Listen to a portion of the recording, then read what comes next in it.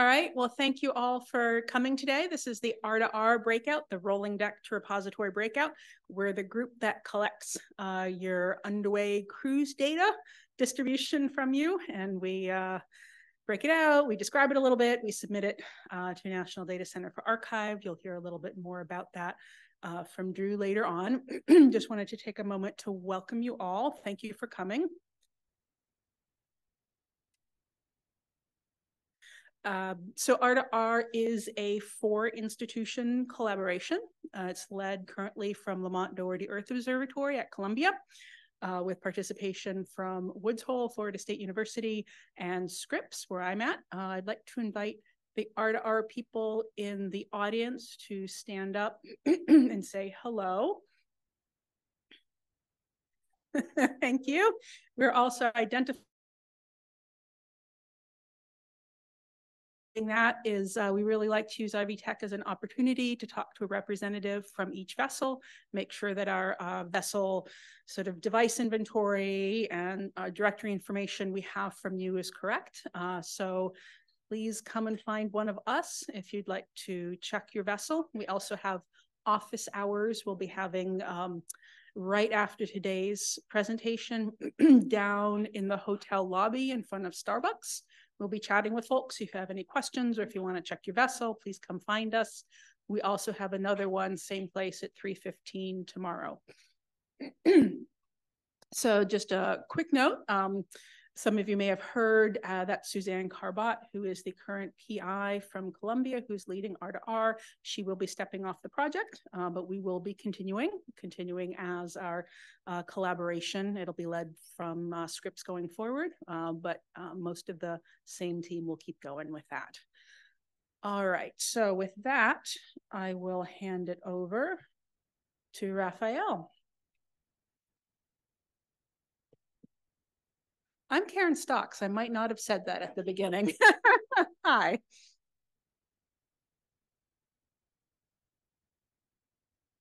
I should have sat closer because then it just looks like I don't know. It looks like like I don't know, like a runway or something. Whatever.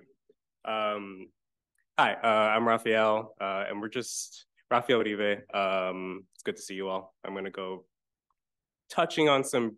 We're gonna briefly touch on just some basic stuff about directory structures and data transfer methods.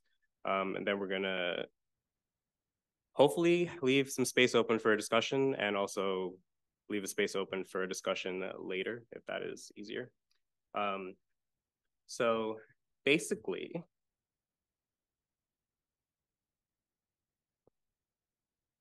we have some best practices for directory structure and obviously like every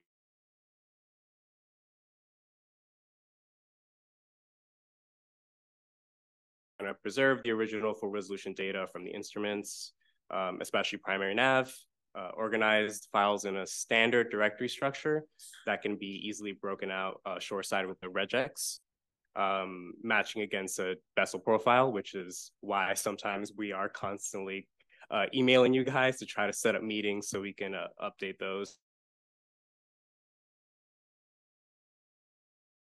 One serve. Um, and also segregating uh, routine underway data um, from documentation, products, and process data. So it's really important to keep all of those apart so that we are served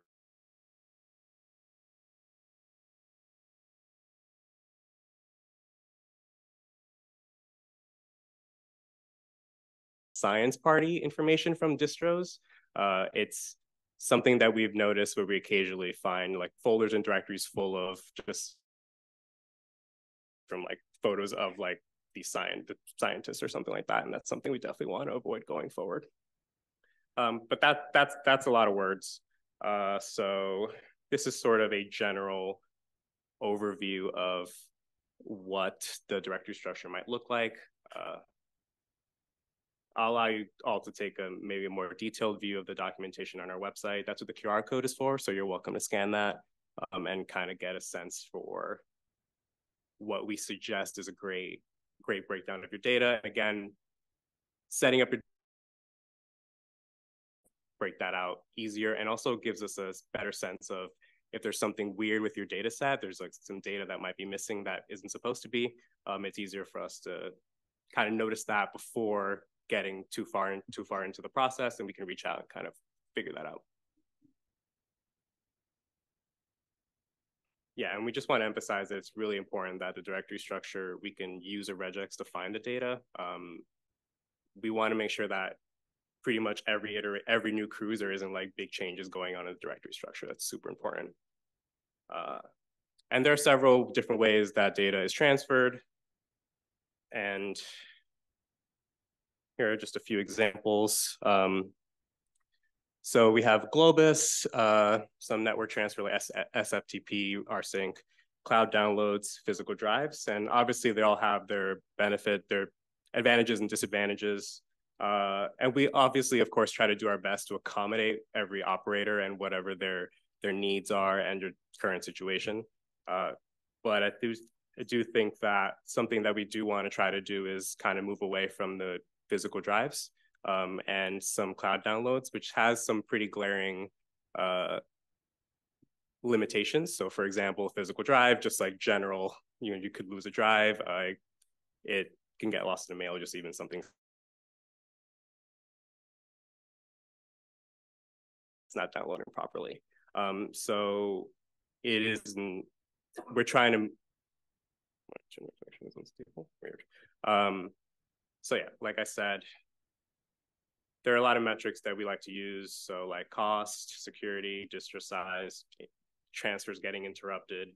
Um, can the data be pushed? And does your IT need to configure it on your end? And does your IT need to configure it? And does does our IT need to configure that process? So two methods that have that we've liked to sort of move towards um, is using Globus, um, SFTP, and rsync, of course, because they're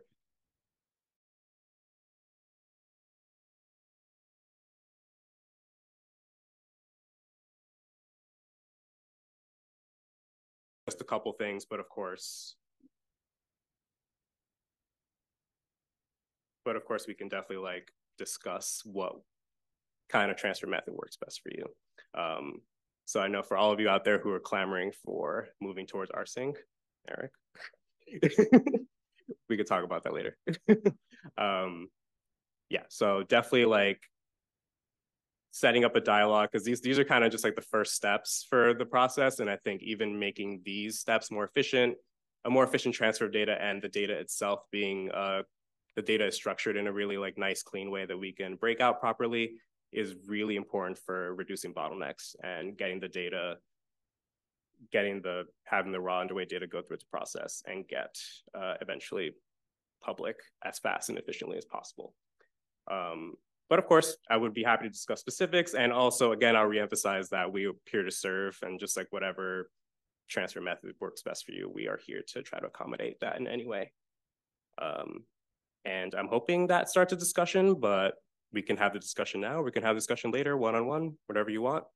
Um, yeah, so that's actually, that's actually it. Um, so I'm hoping it's a little more conversation than staring at slides. So, um, so yeah, please, if anyone has any questions, please.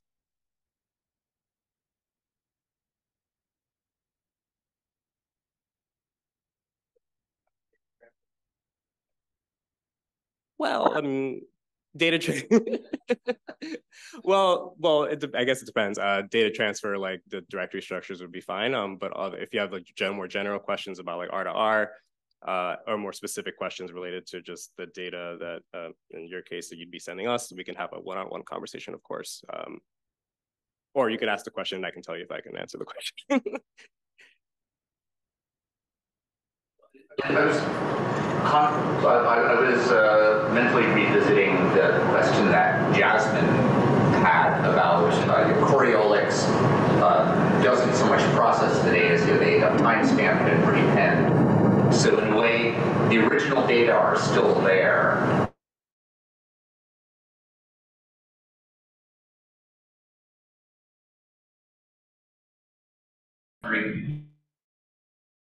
So I don't remember who it was who suggested that that R2R really love to have it without that additional metadata just sort of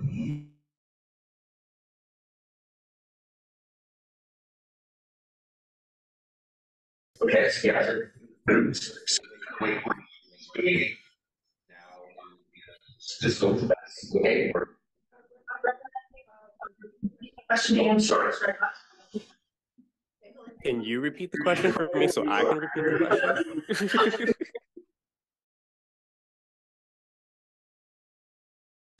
should just have the raw data itself or the data plus the timestamps, and I wasn't sure what the resolution of that was. Okay, so basically the question was to sort of revisit the previous question about Coriolis and whether the data should uh include like the timestamp and like either include or in- not include the timestamp as a, yeah.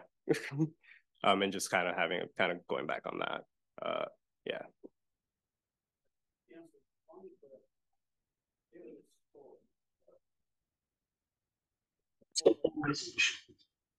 That's considerable. Some of the things, time is, we did very well. Did you get that? I think I did. So, so if it's the whole, Oh.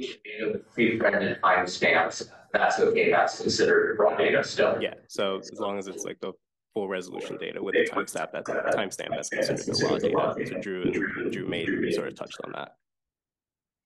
Thank you. Yeah, of course. I think I saw a hand raised in the back, but I'm not sure. Yeah, were you Suzanne? Oh, yes.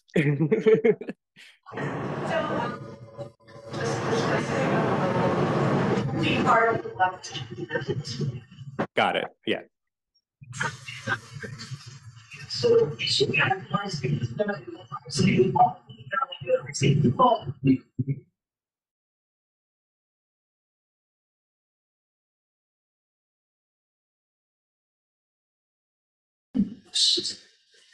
part of it. Is to step. Question on which is where they receive the shifts. Yeah. I can I can rephrase I can reiterate that. So the so the challenge with rsync is that basically you can't push data to us because of just Lamont's like IT specifications. Uh, we need to essentially be able to pull from pull from the operator. So that requires some configuration on the operator's end so that we have access and we're able to pull, um, as opposed to Globus, which we do have a place where you could push data to us. Um, that doesn't require subscription, but it does also require IT configuration on both ends.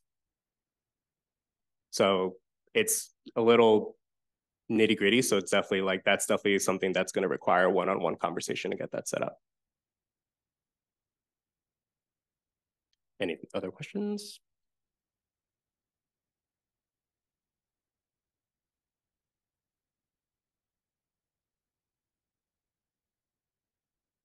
Yeah, I think think that's good. Feel free to catch me. I I get lost in the lobby a lot, so if you find me, just like ask me a question. It's fine.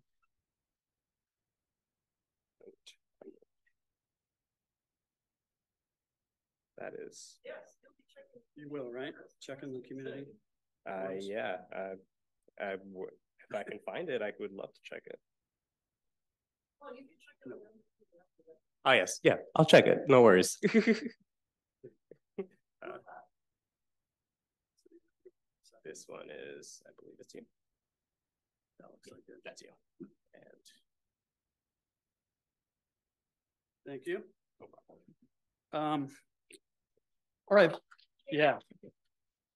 We can wrap it up. So uh, my name is Drew Clark. I've been working with the R to R program from the beginning. So we've done fifteen years now of data um, collection from all the operators and the vessels. It's been, it's been pretty amazing. Um, one thing I just wanted to point out is that there's no conference I would feel comfortable presenting in shorts in a Hawaiian shirt. So thank you, Toby. He definitely set us up. Um, I'm gonna make sure I've got this. Okay, good. So I'm just gonna talk about data formats. Um, we called this towards known data formats. That's a very selfish name because all you guys know the data formats already. The operators, the techs, um, you guys already know the formats, but they're just not always getting relayed to R to R. So I just wanted to make that kind of uh, the point of this first slide. There will be a background, a discussion about the full R2R um, project in the plenary uh, on Thursday. So we're just doing pieces of it right now. These are just the components.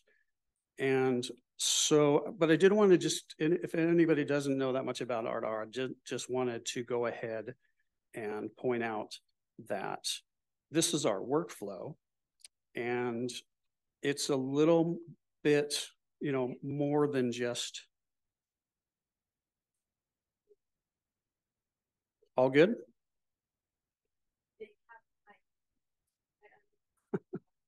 okay, little technical issue maybe.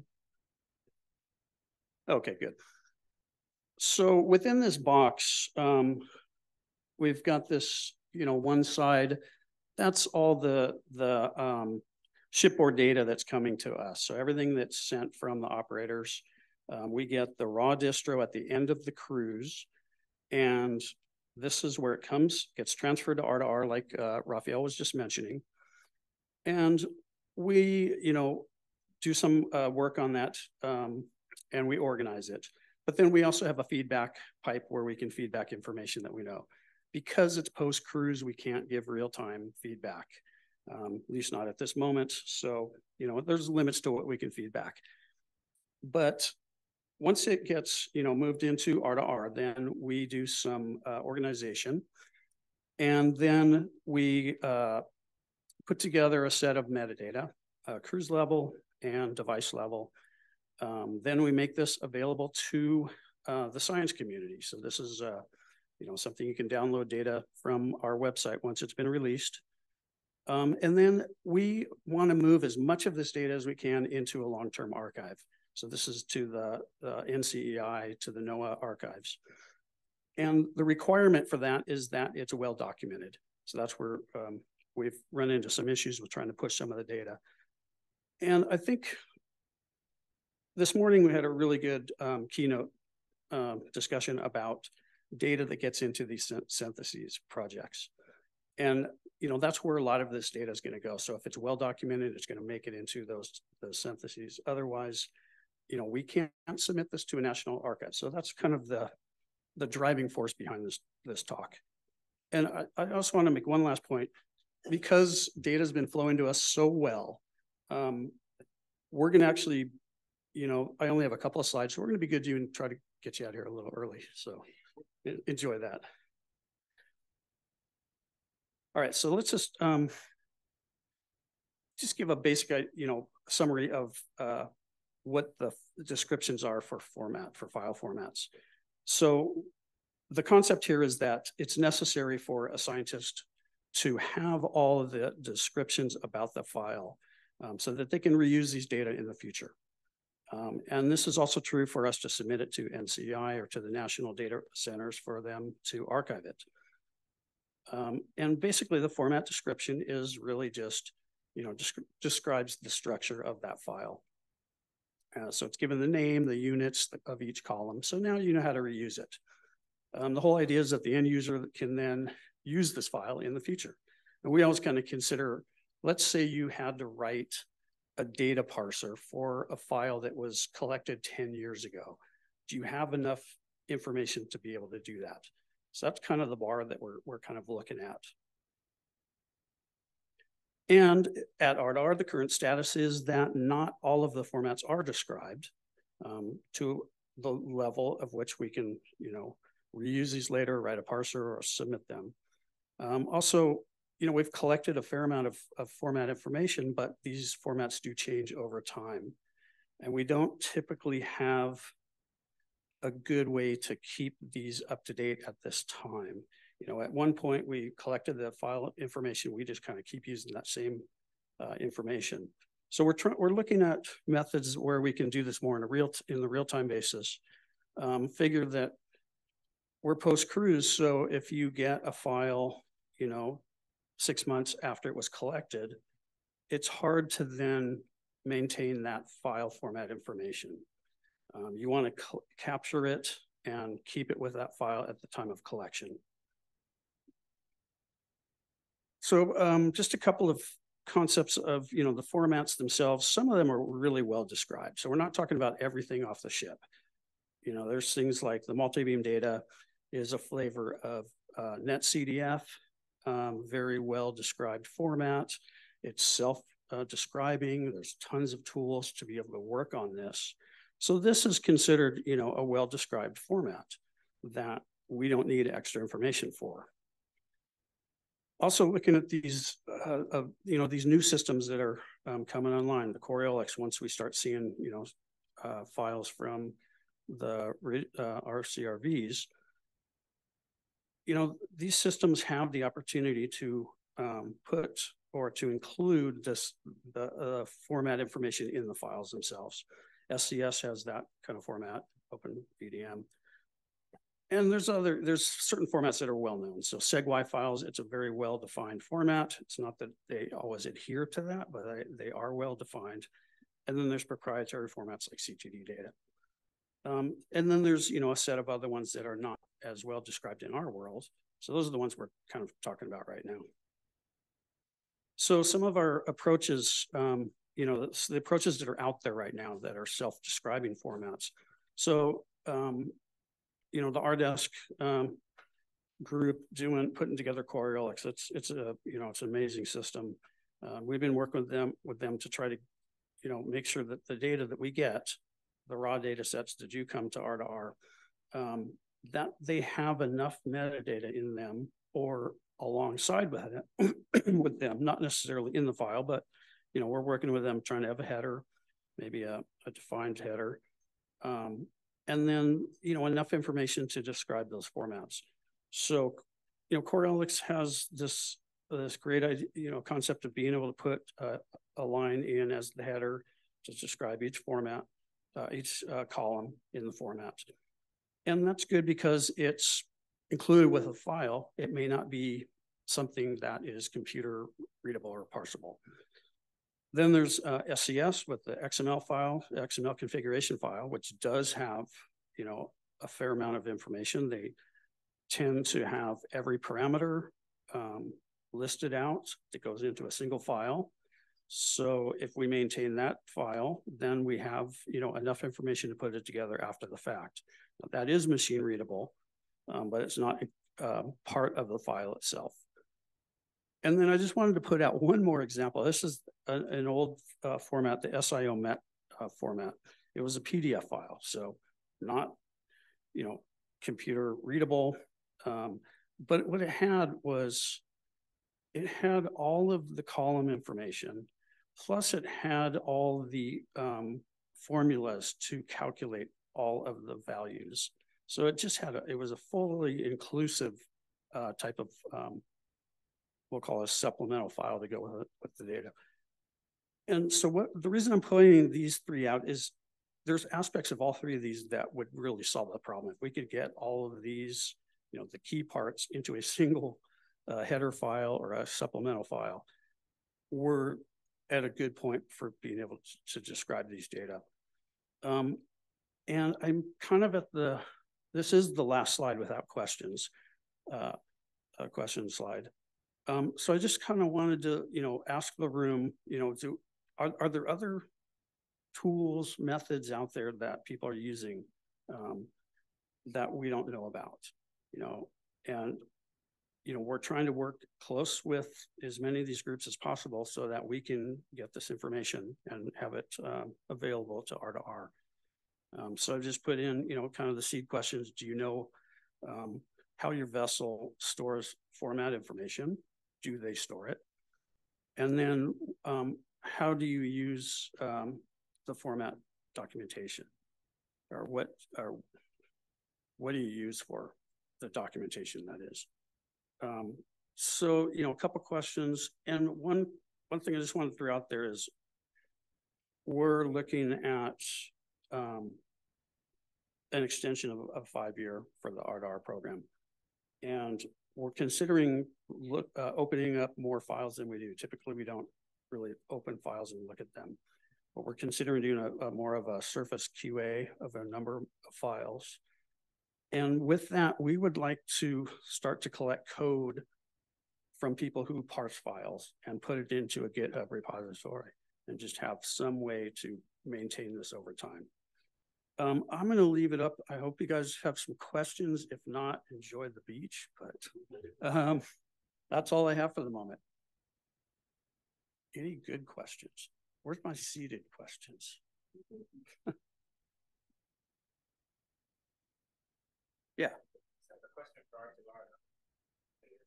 Something that came out of the RCRV sensor workshop was that uh, R2R is not currently looking at EK80 data. Is that true? Is that a true statement? We'd like to not look at it. It's huge. That's what I mean, like a, So- a large data set and a, and a R2R. So, so the question was, is R2R looking at, um, moving EK eighty data into our archive and then passing it off to a national repository? And we are. Um, I'm trying to think if there are any caveats for that, but we have, you know, we've had a number of cruises that have it. Um, like I say, they're humongous for the most part. Um, there might be some subsampled uh, versions of it coming in the future. I'm not sure how that'll go. Um, but yes, we are. Uh, oh, sorry, Sean. Brandy. I got one online question uh, from Tess Chapman. We are on workflow page. Could you please talk a little bit more about and how vocabularies such as NERC fit into your pipeline? Um, do I need to repeat that question? So. uh, Vocabularies. Um, that might be one for Rebecca. I see her sitting in the back. Do you want to try to feel that? Yeah. She's done such a good job of harmonizing our metadata, and this is our device metadata. Okay. One more time for Rebecca. Workflow page, could you please talk a little bit more about the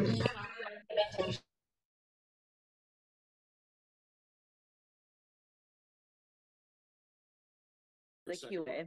Um, but the controlled vocabularies, we've gone through all the instruments that R2R hosts and we've mapped them to a NERC L2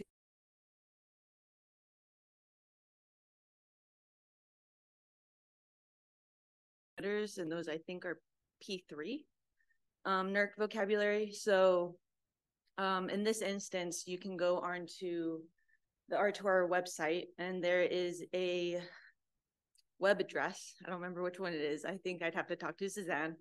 Um, but you can click on it and it redirects you to the L22 um, NERC vocabulary. And it gives you a good description of what it is, what kind of parameters, and like who uh, manufactured the device. I hope that answers that question. And then on the QA documentation, we do have links on our web, uh, website to um, all the steps that are taken in the QA. Um, so that's, and it's per device type. And then the actual um, download of the metadata about that, it's an XML file that has all the different parameters that we check for, the ratings that that file had uh, achieved, and then some other information along the lines of you know, when it was run. Does that answer the question? Let's assume yes.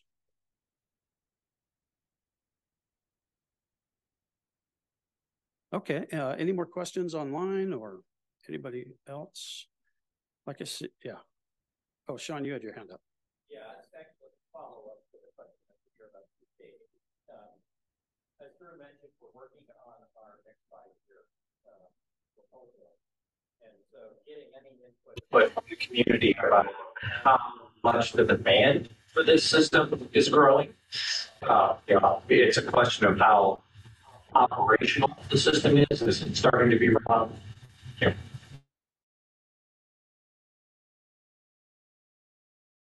Getting back to like the, the MFP for the planning, and so the C coming up. How many cruises we're indicating, you know, because it's a real resource issue. So we have to figure out, you know, how much disk space and stuff that we have access to. Uh, so it is, any info we get beneficial for our proposal. So that, that, that record though, do you, do you collect and store it? You just don't look at it, or do you just like, Don't look at it. Yeah, we do store it. And the um, NCEI has said that they would like to consider taking it, especially the SegWide version of it. Um, So we'll see how that goes. I don't think they've collected anything yet. any, any kind of unsupported instrument that, that we sent to hardware, does that get at least stored in an archive somewhere, or do you, do you just delete some of it that isn't really? So the question was any unsupported um, device type or would that be like Science Party? This year, twenty twenty-four, we have a group that is testing. uh, the instruments called It's an NSF funded instrument, and so our data set is gonna have a vampire folder or something. Okay. What happens with that when we send it? And so if R2R will archive these um, data sets that we might not know about or they're experim- experimental. The, um, the answer to that is if it's on the, on the cruise distro, those as is get stored um, for long-term storage. And so they're accessible. And now on the web page, you can now search by um, name across the entire distro. They may not be download links for all of the device types that are in there, you know, the ones we know there's downloads for. But because of the search page, now you could find those files and download them. If this becomes a standard underway device, then we're going to eventually break them out and make them official uh, device types. If it's just a science party, you know, those typically don't uh, a science party device, they typically don't make it on the distro. Does that answer your question? Okay, great, thanks. Jules, I've had a heck of a time trying to find any data that we ever submitted to NCEI. There's the search functions are and you're asking me? Because, because you have a direct feedback with them from the sessions, and so you have somewhere in there, there is a way to go from, I found this thing on R2R, to this is the NCEI page that has it. Is there any?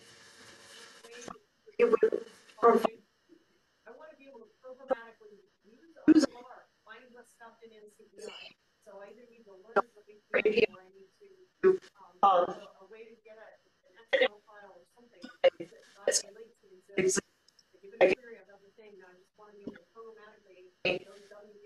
Heck, out of everything that was found.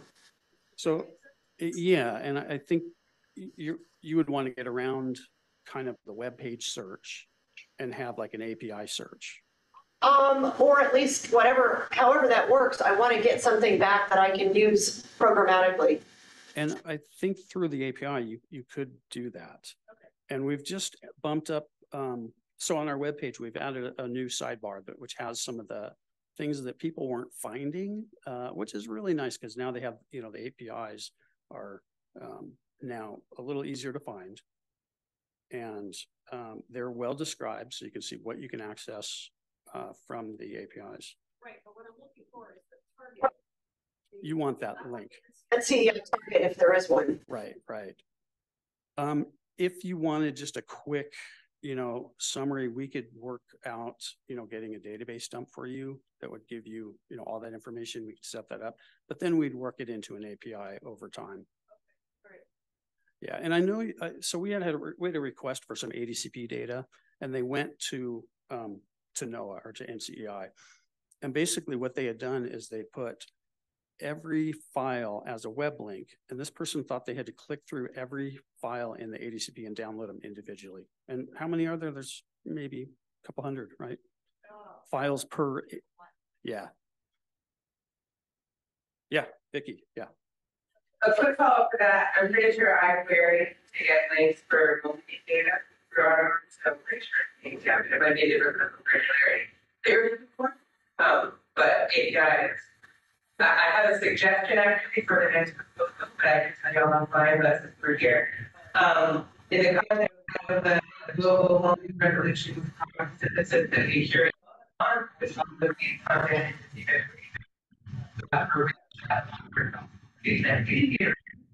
Um, it would be.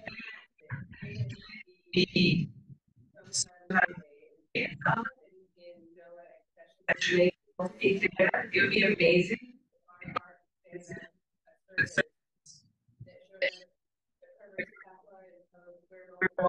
it? Because we can get back.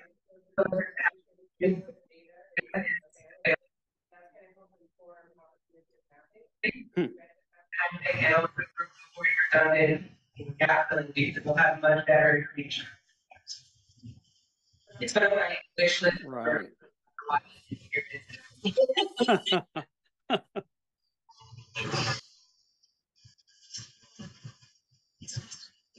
So There's Should we just give you the microphone? a little bit more. What's that? Right.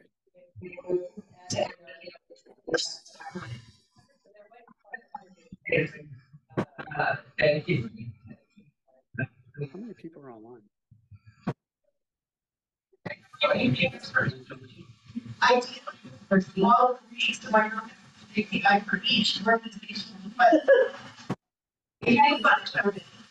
So Vicky, let me, let me repeat that question. Just, you were asking how before, let's say, multi-beam data gets um, moved into NCEI and available on their map page, would there be a way that R2R could show the coverage that um, of data sets that hadn't been submitted yet?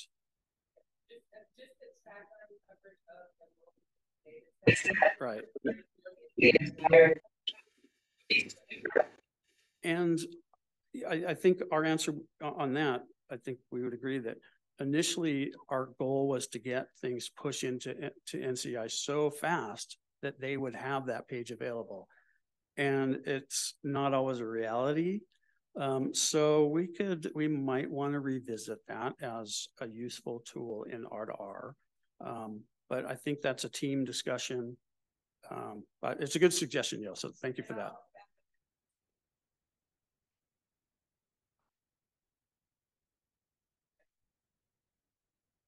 That's interesting.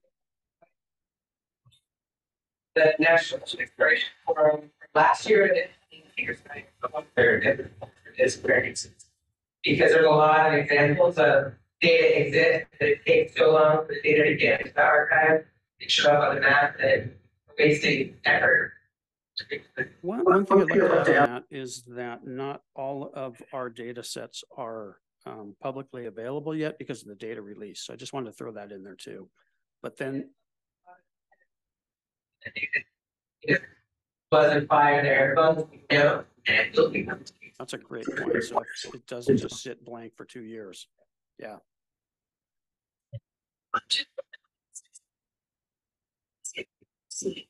They, they come to.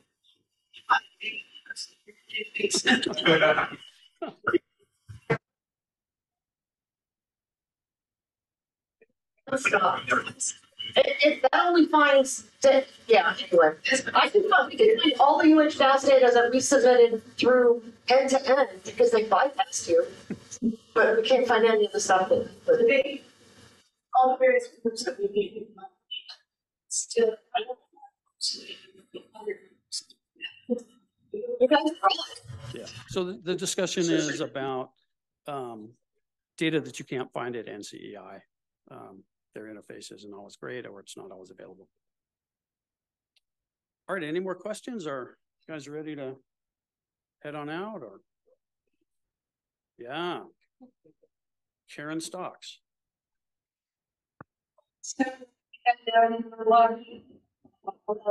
So, so the places to check out there.